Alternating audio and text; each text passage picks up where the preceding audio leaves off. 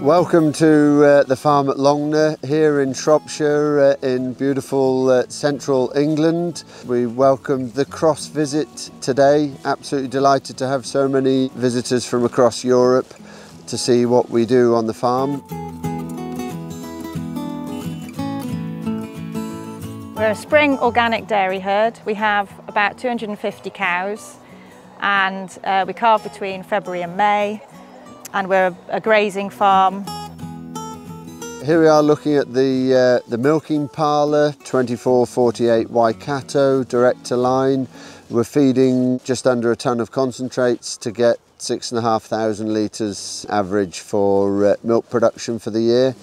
Here we see the cows. We're looking at creating uh, a crossbred organic cow that will not require huge amounts of extra feed, will operate within our antibiotic free guidelines and will graze for 10 months of the year.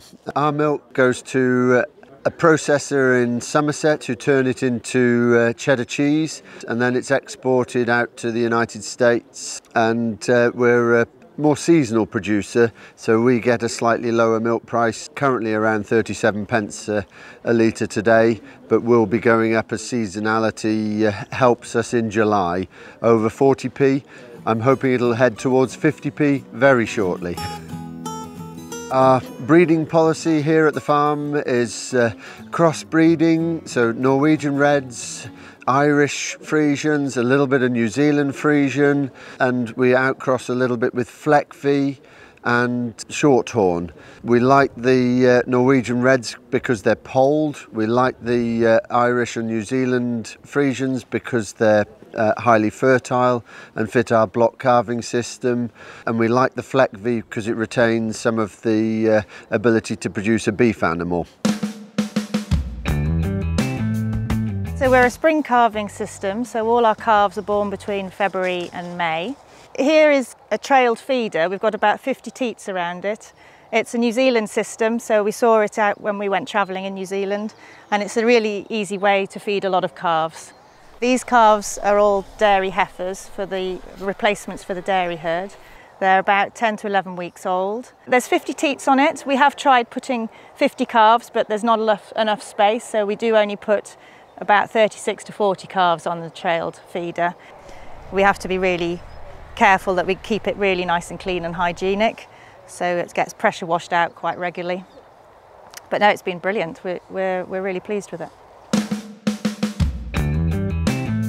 We run a 12 hour paddock system, so we're grazing uh, rotationally round the farm, changing paddocks after every milking, milking twice a day, overseeding as and when pastures drop below 8 tonnes of dry matter per hectare grown.